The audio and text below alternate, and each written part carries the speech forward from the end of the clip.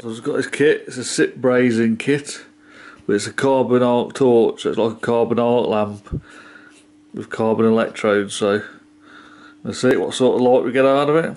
I would imagine you just create an arc and then you feed your brazing wire into that arc when you're welding, but I was going to see how bright it is on this video.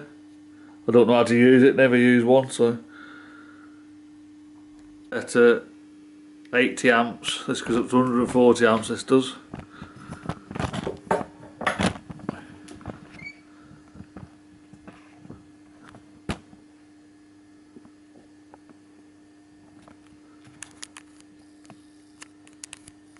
I'm wear my mask.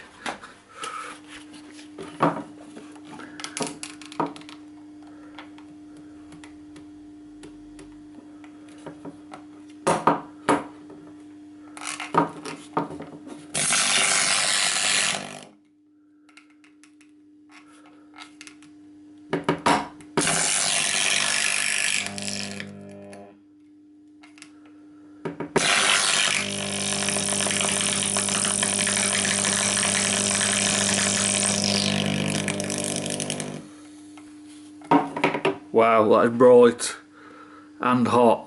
that was just at 80 amps, but I'm going to stop there because I'm in my front room